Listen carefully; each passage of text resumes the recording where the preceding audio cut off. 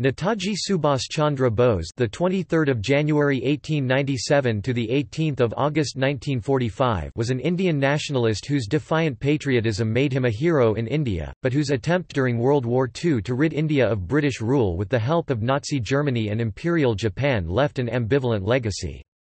The honorific Netaji Hindustani, respected leader the name granted to him in the early 1940s by the Indian soldiers of the Indisch Legion and by the German and Indian officials in the Special Bureau for India in Berlin, was later used throughout India. Bose had been a leader of the younger, radical, wing of the Indian National Congress in the late 1920s and 1930s, rising to become Congress president in 1938 and 1939. However, he was ousted from Congress leadership positions in 1939 following differences with Mahatma Gandhi and the Congress High Command. He was subsequently placed under house arrest by the British before escaping from India in 1940. Bose arrived in Germany in April 1941, where the leadership offered unexpected, if sometimes ambivalent, sympathy for the cause of India's independence, contrasting starkly with its attitudes towards other colonized peoples and ethnic communities. In November 1941, with German funds, a Free India Centre was set up in Berlin, and soon a Free India Radio, on which Bose broadcast nightly. A 3,000-strong Free India Legion, comprising Indians captured by Erwin Rommel's Afrika Korps, was also formed to aid in a possible future German land invasion of India. By spring 1942, in light of Japanese victories in Southeast Asia and changing German priorities, a German invasion of India became untenable, and Bose became keen to move to Southeast Asia. Adolf Hitler, during his only meeting with Bose in late May 1942, suggested the same, and offered to arrange for a submarine. During this time Bose also became a father, his wife, or companion, Emilie Schenkl, whom he had met in 1934, gave birth to a baby girl in November 1942. Identifying strongly with the Axis powers, and no longer apologetically, Bose boarded a German submarine in February 1943.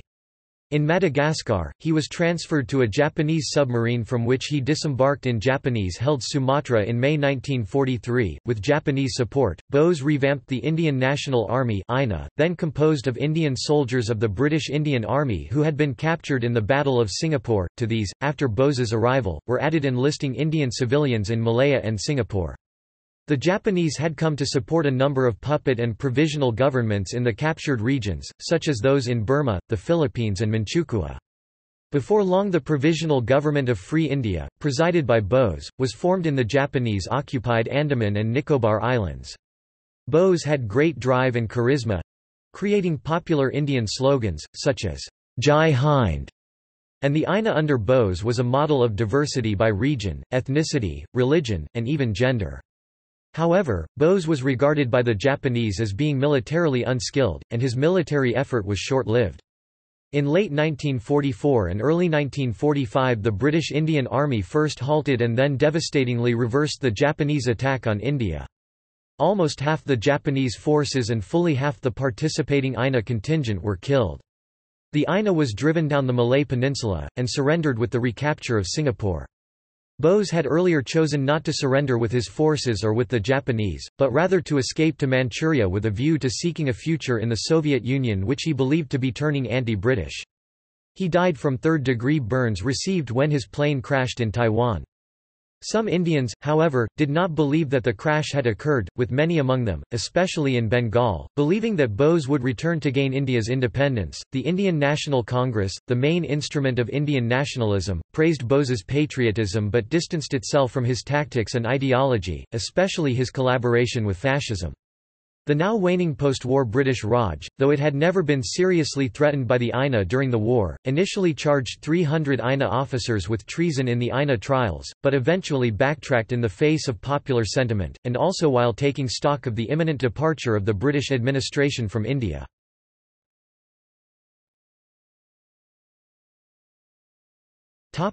Biography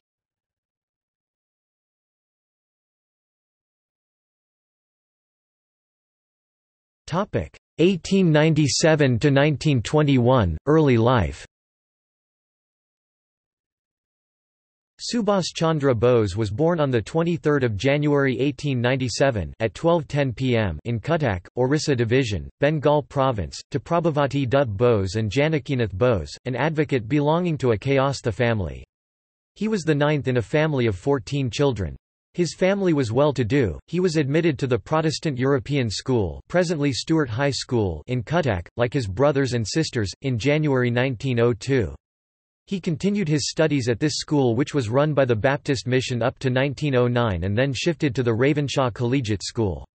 Here, he was ridiculed by his fellow students because he knew very little Bengali. The day Subhas was admitted to this school, Beni Madhab Das, the headmaster, understood how brilliant and scintillating his genius was.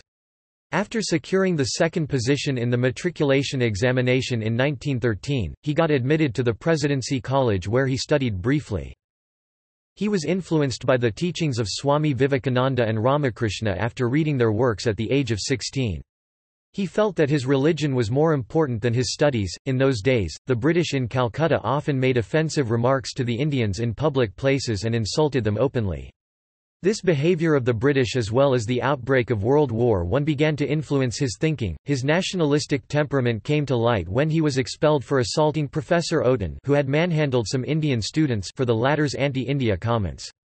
He was expelled although he appealed that he only witnessed the assault and did not actually participate in it. He later joined the Scottish Church College at the University of Calcutta and passed his BA in 1918 in philosophy. Bose left India in 1919 for England with a promise to his father that he would appear in the Indian Civil Services examination. He went to study in Fitzwilliam College, Cambridge and matriculated on 19 November 1919.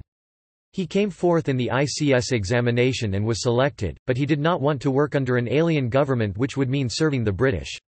As he stood on the verge of taking the plunge by resigning from the Indian Civil Service in 1921, he wrote to his elder brother Sarat Chandra Bose, "...only on the soil of sacrifice and suffering can we raise our national edifice." He resigned from his civil service job on 23 April 1921 and returned to India.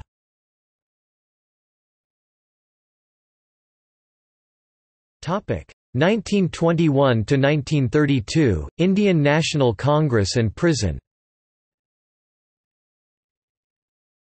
He started the newspaper Swaraj and took charge of publicity for the Bengal Provincial Congress Committee.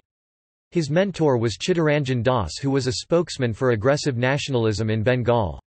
In the year 1923, Bose was elected the president of All India Youth Congress and also the secretary of Bengal State Congress. He was also the editor of the newspaper, Forward, founded by Chittaranjan Das. Bose worked as the CEO of the Calcutta Municipal Corporation for Das when the latter was elected mayor of Calcutta in 1924. In a roundup of nationalists in 1925, Bose was arrested and sent to prison in Mandalay, where he contracted tuberculosis. In 1927, after being released from prison, Bose became General Secretary of the Congress Party and worked with Jawaharlal Nehru for independence. In late December 1928, Bose organized the annual meeting of the Indian National Congress in Calcutta. His most memorable role was as General Officer Commanding Congress Volunteer Corps. Author Nirad Chaudhuri wrote about the meeting. Bose organized a volunteer corps in uniform, its officers were even provided with steel-cut epaulets. His uniform was made by a firm of British tailors in Calcutta, Harmans. A telegram addressed to him as GOC was delivered to the British general in Fort William and was the subject of a good deal of malicious gossip in the British Indian press. Mahatma Gandhi as a sincere pacifist vowed to non-violence, did not like the strutting, clicking of boots, and saluting, and he afterward described the Calcutta session of the Congress as a Bertram Mills circus, which caused a great deal of indignation among the Bengalis. A little later, Bose was again arrested and jailed for civil disobedience, this time he emerged to become mayor of Calcutta in 1930.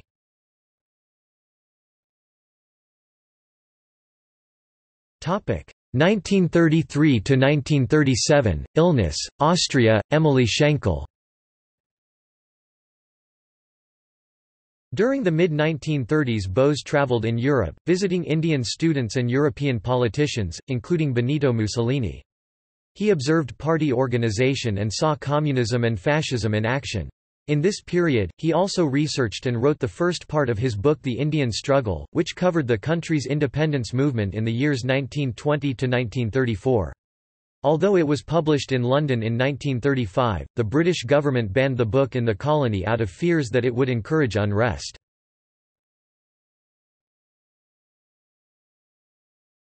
Topic 1938 to 1941 Forward Bloc By 1938 Bose had become a leader of national stature and agreed to accept nomination as Congress President. He stood for unqualified Swaraj self-governance, including the use of force against the British. This meant a confrontation with Mohandas Gandhi, who in fact opposed Bose's presidency, splitting the Indian National Congress Party. Bose attempted to maintain unity, but Gandhi advised Bose to form his own cabinet. The rift also divided Bose and Nehru. Bose appeared at the 1939 Congress meeting on a stretcher.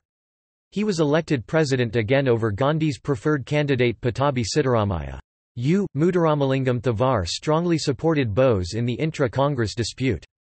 Thevar mobilized all South India votes for Bose.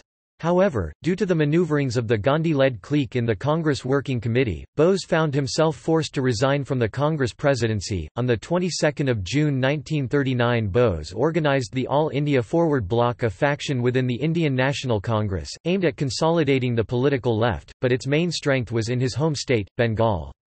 U. Muthuramalingam Thevar, who was a staunch supporter of Bose from the beginning, joined the Forward Bloc. When Bose visited Madurai on 6 September, Thevar organized a massive rally as his reception. When Subhash Chandra Bose was heading to Madurai, on an invitation of Muthuramalinga Thevar to amass support for the Forward Bloc, he passed through Madras and spent three days at Gandhi Peak. His correspondence reveals that despite his clear dislike for British subjugation, he was deeply impressed by their methodical and systematic approach and their steadfastly disciplinarian outlook towards life.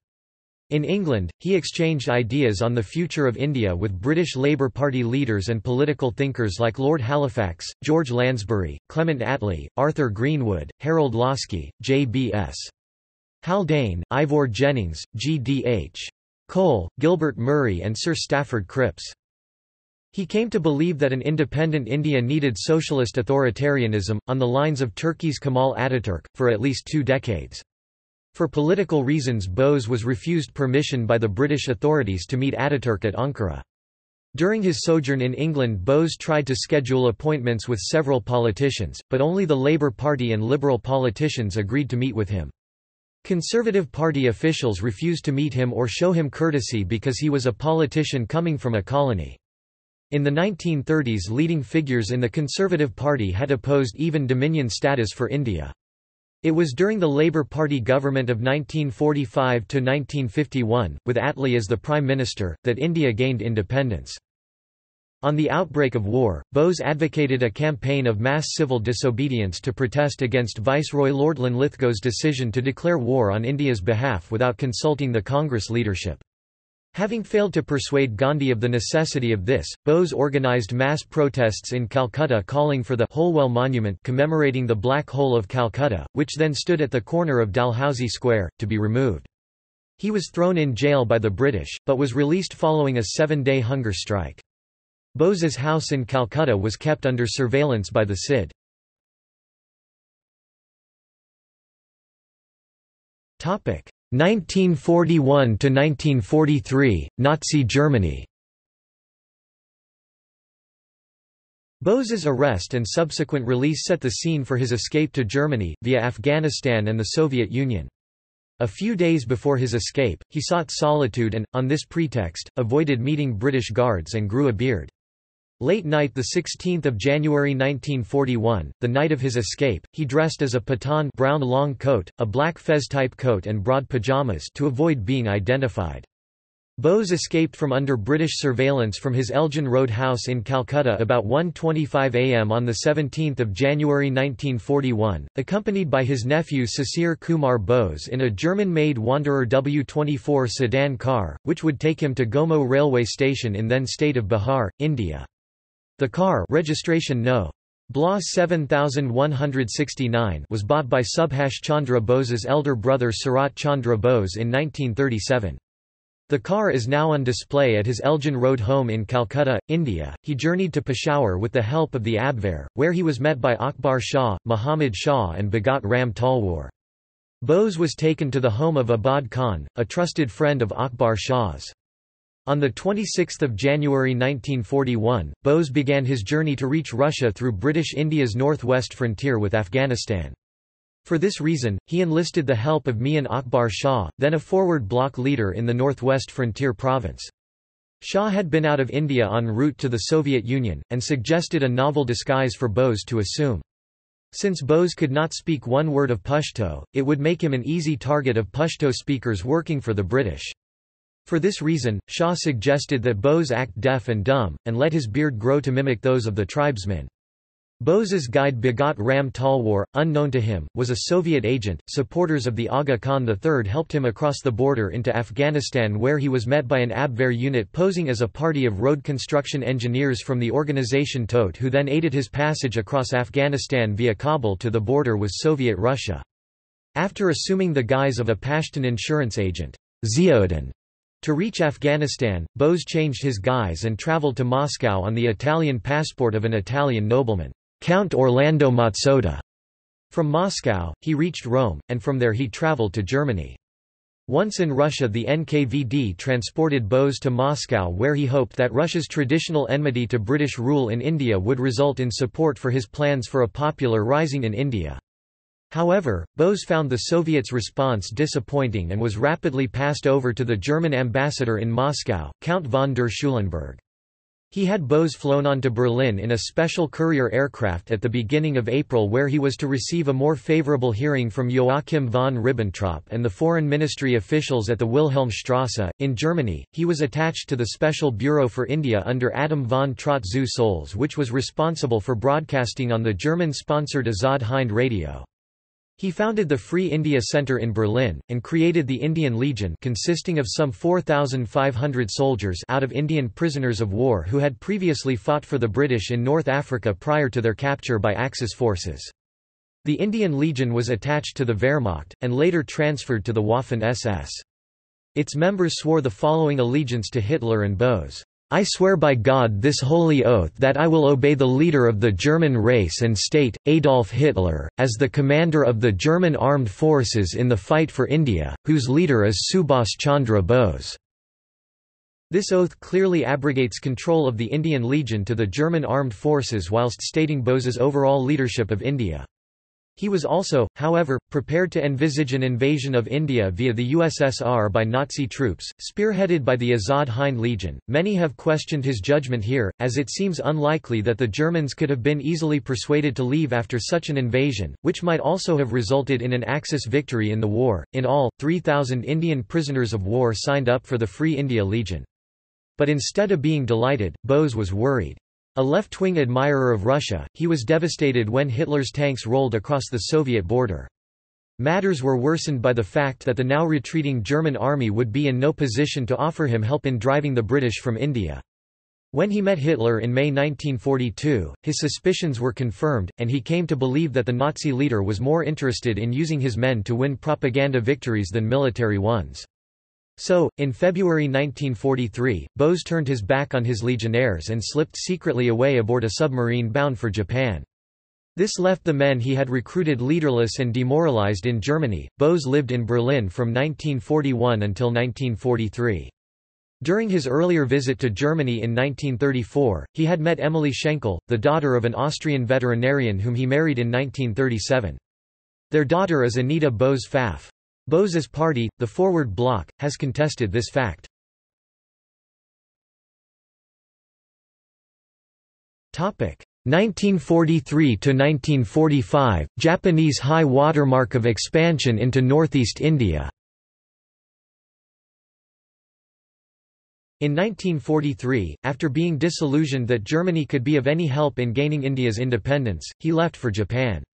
He traveled with the German submarine U-180 around the Cape of Good Hope to the southeast of Madagascar, where he was transferred to the I-29 for the rest of the journey to Imperial Japan. This was the only civilian transfer between two submarines of two different navies in World War II. The Indian National Army was the brainchild of Japanese Major and post-war Lieutenant General Oichi Fujiwara, had the Japanese intelligence unit Fujiwara Kikan and had its origins, first in the meetings between Fujiwara and the president of the Bangkok chapter of the Indian Independence League, Pritam Singh Dhillon, and then, through Pritam Singh's network, in the recruitment by Fujiwara of a captured British Indian Army captain, Mohan Singh on the western Malayan Peninsula in December 1941. Fujiwara's mission was to raise an army which would fight alongside the Japanese army. After the initial proposal by Fujiwara the Indian National Army was formed as a result of discussion between Fujiwara and Mohan Singh in the second half of December 1941, and the name chosen jointly by them in the first week of January 1942, this was along the concept of—and with support of what was then known as the Indian Independence League, headed by expatriate nationalist leader Rash Behari Bose.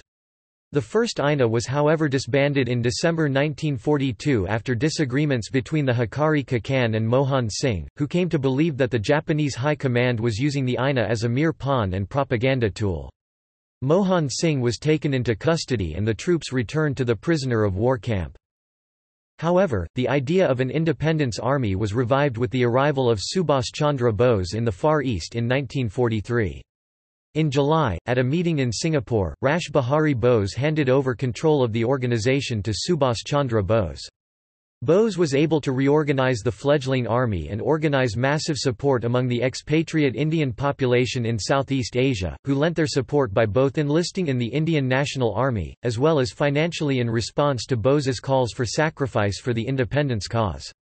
INA had a separate women's unit, the Rani of Jhansi Regiment named after Rani Lakshmi Bai headed by Capt. Lakshmi Swaminathan, which is seen as a first of its kind in Asia, even when faced with military reverses, Bose was able to maintain support for the Azad Hind movement.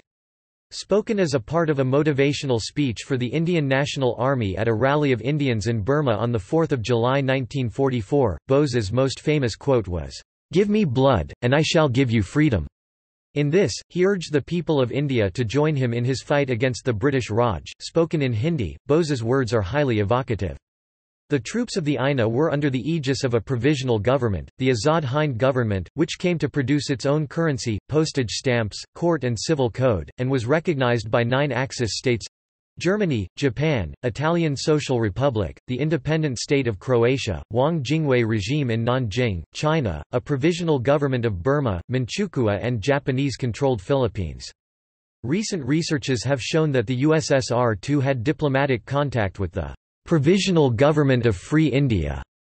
Of those countries, five were authorities established under Axis occupation. This government participated in the so-called Greater East Asia Conference as an observer in November 1943. The INA's first commitment was in the Japanese thrust towards eastern Indian frontiers of Manipur. INA's special forces, the Bahadur Group, were extensively involved in operations behind enemy lines both during the diversionary attacks in Arakan, as well as the Japanese thrust towards Imphal and Kohima, along with the Burmese National Army led by Ba Maw and Aung San. The Japanese also took possession of Andaman and Nicobar Islands in 1942 and a year later, the Provisional Government and the INA were established in the Andaman and Nicobar Islands with Lt Col. A. D. Loganathan appointed its Governor-General. The islands were renamed Shahid martyr and Swaraj independence. However, the Japanese Navy remained in essential control of the island's administration.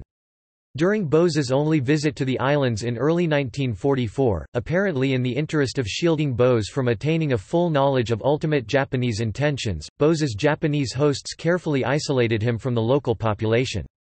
At that time the island's Japanese administration had been torturing the leader of the island's Indian Independence League, Dr. Dewan Singh, who later died of his injuries in the cellular jail. During Bose's visit to the islands several locals attempted to alert Bose to Dr. Singh's plight, but apparently without success. During this time Lieutenant Colonel Loganathan became aware of his lack of any genuine administrative control and resigned in protest as Governor-General, later returning to the government's headquarters in Rangoon, on the Indian mainland. An Indian tricolour, modelled after that of the Indian National Congress, was raised for the first time in the town of Morung, in Manipur, in northeastern India. The adjacent towns of Kohima and Imphal were then encircled and placed under siege by divisions of the Japanese army, working in conjunction with the Burmese National Army, and with brigades of the INA, known as the Gandhi and Nehru Brigades. This attempt at conquering the Indian mainland had the Axis codename of Operation U-Go. During this operation, on 6 July 1944, in a speech broadcast by the Azad Hind radio from Singapore, Bose addressed Mahatma Gandhi as the «father of the nation» and asked for his blessings and good wishes for the war he was fighting. This was the first time that Gandhi was referred to by this appellation. The protracted Japanese attempts to take these two towns depleted Japanese resources, with Operation U-Go ultimately proving unsuccessful. Through several months of Japanese onslaught on these two towns, Commonwealth forces remained entrenched in the towns. Commonwealth forces then counterattacked, inflicting serious losses on the Axis-led forces, who were then forced into a retreat back into Burmese territory. After the Japanese defeat at the battles of Kohima and Imphal, Bose's provisional government's aim of establishing a base in mainland India was lost forever. Still the INA fought in key battles against the British Indian Army in Burmese territory, notable in Maikarta, Mandalay, Pegu, Neongyu and Mount Popa. However, with the fall of Rangoon, Bose's government ceased to be an effective political entity. A large proportion of the INA troops surrendered under LT Colonel Loganathan. The remaining troops retreated with Bose towards Malaya or made for Thailand. Japan's surrender at the end of the war also led to the surrender of the remaining elements of the Indian National Army. The INA prisoners were then repatriated to India and some tried for treason.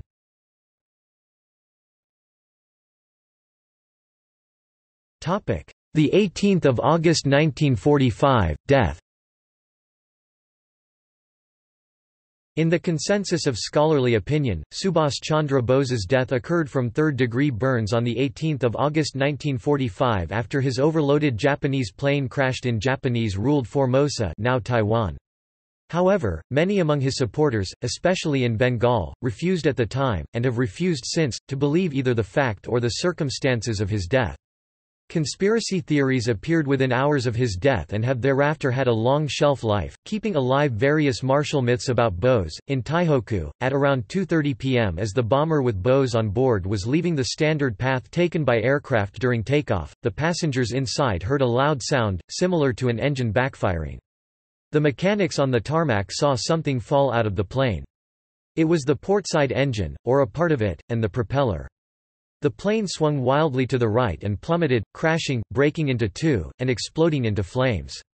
Inside, the chief pilot, co-pilot and Lieutenant General Tsunamasa Shide, the vice chief of staff of the Japanese Kwantung Army, who was to have made the negotiations for Bose with the Soviet Army in Manchuria, were instantly killed.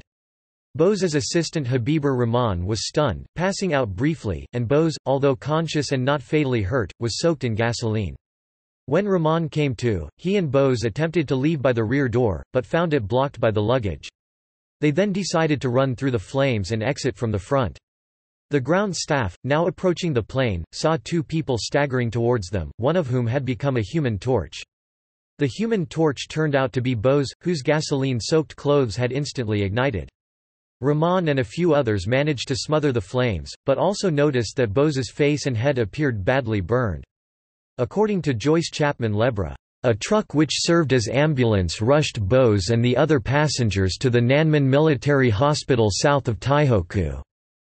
The airport personnel called Dr. Taneyoshi Yoshimi, the surgeon in charge at the hospital at around 3 p.m.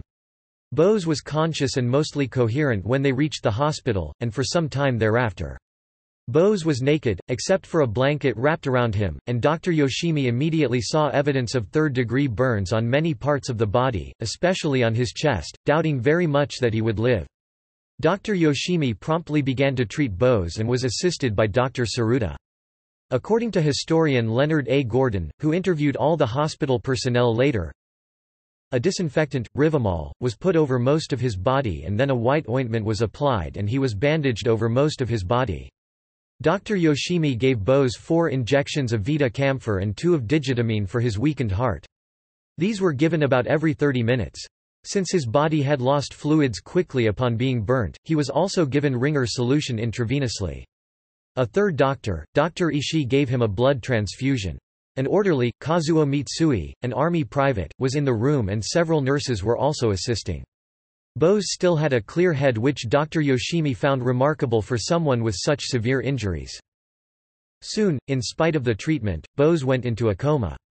A few hours later, between 9 and 10 p.m. local time on Saturday 18 August 1945, Subhas Chandra Bose, aged 48, was dead. Bose's body was cremated in the main Taihoku crematorium two days later, 20 August 1945. On 23 August 1945, the Japanese news agency Deutsche announced the death of Bose and Shideo. On 7 September a Japanese officer, Lieutenant Tatsuya Hayashida, carried Bose's ashes to Tokyo, and the following morning they were handed to the president of the Tokyo Indian Independence League, Rama Murthy. On 14 September a memorial service was held for Bose in Tokyo and a few days later the ashes were turned over to the priest of the Renkoji Temple of Nichiren Buddhism in Tokyo. There they have remained ever since. Among the INA personnel, there was widespread disbelief, shock, and trauma. Most affected were the young Tamil Indians from Malaya and Singapore, both men and women, who comprised the bulk of the civilians who had enlisted in the INA.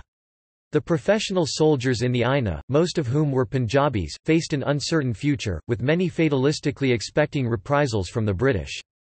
In India the Indian National Congress's official line was succinctly expressed in a letter Mohandas Karamchand Gandhi wrote to Rajkumari Amrit Kaur. Said Gandhi, "'Subhas Bose has died well. He was undoubtedly a patriot, though misguided.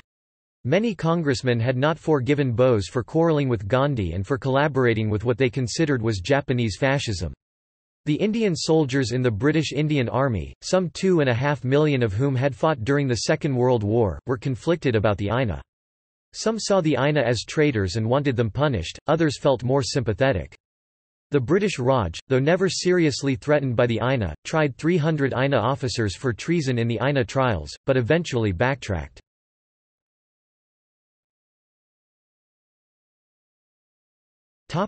Legacy On 23 August 2007, Japanese Prime Minister, Shinzo Abe visited the Subhas Chandra Bose Memorial Hall in Kolkata. Abe said to Bose's family the Japanese are deeply moved by Bose's strong will to have led the Indian independence movement from British rule. Netaji is a much respected name in Japan. The following words are inscribed on a brass shield in front of the chair.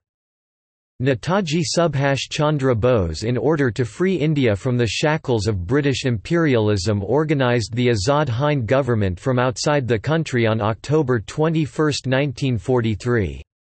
Netaji set up the Provisional Government of Independent India Azad Hind and transferred its headquarter at Rangoon on January 7, 1944. On 5 April 1944, the Azad Hind Bank was inaugurated at Rangoon. It was on this occasion that Netaji used this chair for the first time. Later the chair was kept at the residence of Netaji at 51, University Avenue, Rangoon, where the office of the Azad Hind government was also housed. Afterwards, at the time of leaving Burma, the Britishers handed over the chair to the family of Mr. A.T. Ahuja, the well-known businessman of Rangoon. The chair was officially handed over to the Government of India in January 1979. It was brought to Calcutta on 17 July 1980. It has now been ceremonially installed at the Red Fort on July 7, 1981.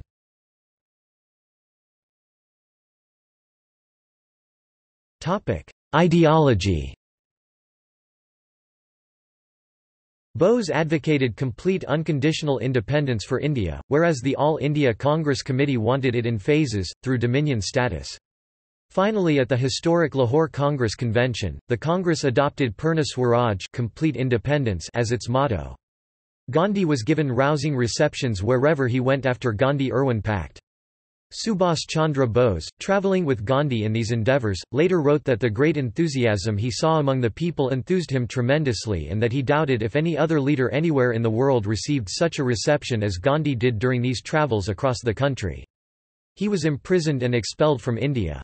Defying the ban, he came back to India and was imprisoned again. Bose was elected president of the Indian National Congress for two consecutive terms, but had to resign from the post following ideological conflicts with Mohandas K. Gandhi and after openly attacking the Congress's foreign and internal policies.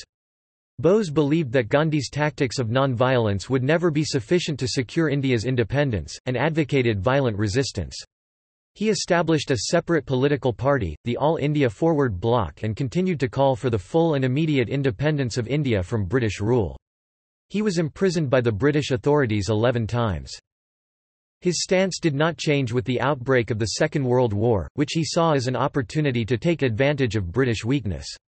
At the outset of the war, he left India, travelling to the Soviet Union, Nazi Germany and Imperial Japan, seeking an alliance with each of them to attack the British government in India. With Imperial Japanese assistance, he reorganized and later led the Azad Hind Fauj or Indian National Army formed with Indian prisoners of war and plantation workers from British Malaya, Singapore, and other parts of Southeast Asia, against British forces. With Japanese monetary, political, diplomatic and military assistance, he formed the Azad Hind government in exile, and regrouped and led the Indian National Army in failed military campaigns against the Allies at Imphal and in Burma. His political views and the alliances he made with Nazi and other militarist regimes at war with Britain have been the cause of arguments among historians and politicians, with some accusing him of fascist sympathies, while others in India have been more sympathetic towards the realpolitik that guided his social and political choices. Subhas Chandra Bose believed that the Bhagavad Gita was a great source of inspiration for the struggle against the British.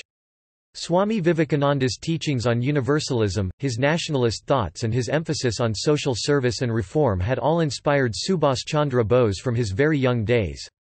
The fresh interpretation of the India's ancient scriptures had appealed immensely to him. Many scholars believe that Hindu spirituality formed the essential part of his political and social thought throughout his adult life, although there was no sense of bigotry or orthodoxy in it.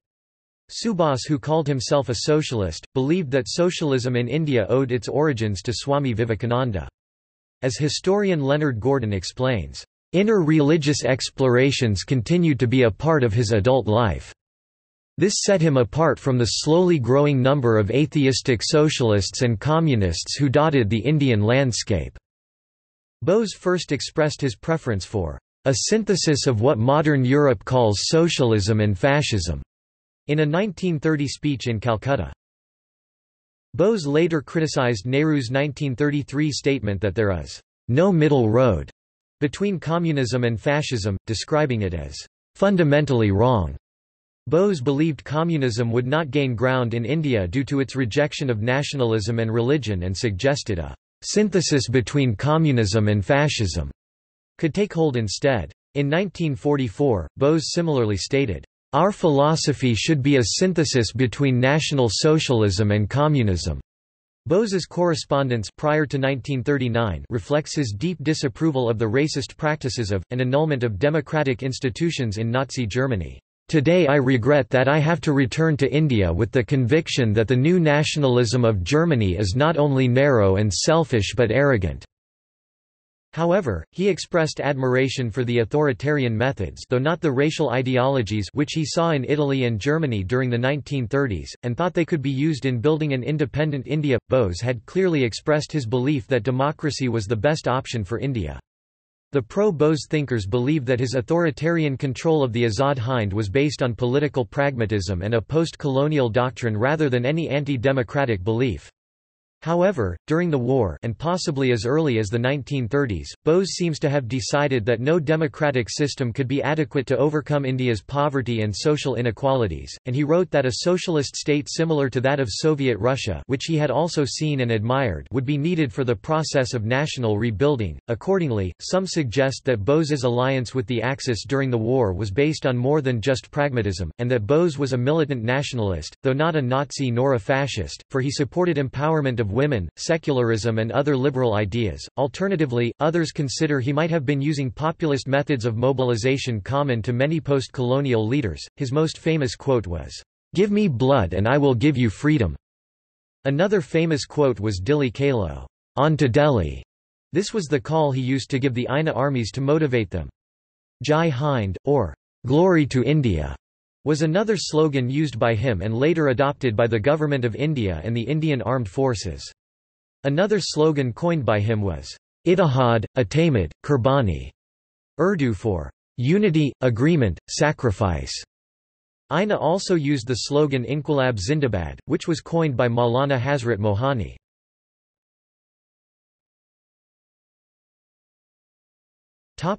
In popular media In 2004, Shyam Benegal directed the biographical film, Netaji Subhas Chandra Bose, the forgotten hero depicting his life in Nazi Germany 1941 in Japanese-occupied Asia 1943 and the events leading to the formation of Azad Hind Fauj. The film received critical acclaim at the BFI London Film Festival, and has garnered the National Film Award for Best Feature Film on National Integration, and the National Film Award for Best Production Design for that year.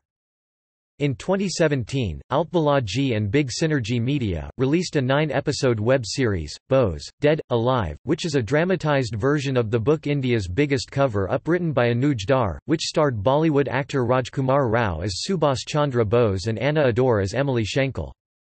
The series was praised by both audience and critics, for its plot, performance and production design.